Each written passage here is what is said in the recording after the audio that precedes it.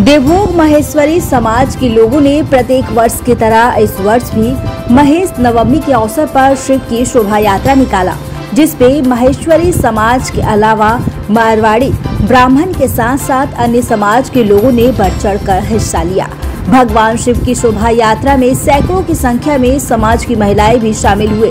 यह शोभा यात्रा देवभोग नगर का भ्रमण कर गायत्री मंदिर पहुँचने के बाद सम्मान कार्यक्रम के बाद समापन हुआ। नगर भ्रमण के दौरान जय महेश के उद्घोष भी लगते रहे। महेश्वरी समाज ने समाज के बुज़ुर्ग महिला का शाल श्रीफल से सम्मान किया।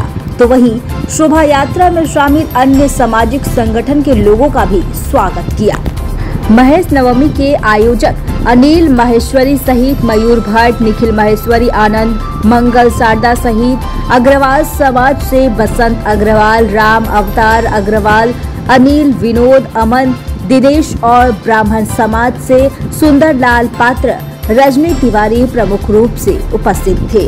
महेश नवमी उत्सव मनाने झाखड़पाड़ा देवभोग, गंगराजपुर के महेश्वरी समाज के सभी सदस्य उपस्थित रहे और गायत्री मंदिर में आयोजित कार्यक्रम में मयूर भट्ट ने कहा, समाज के लोगों को भगवान शिव की तरह परोपकारी और उदारवादी होना चाहिए। गरियाबंद से जयविलास शर्मा विजन टीवी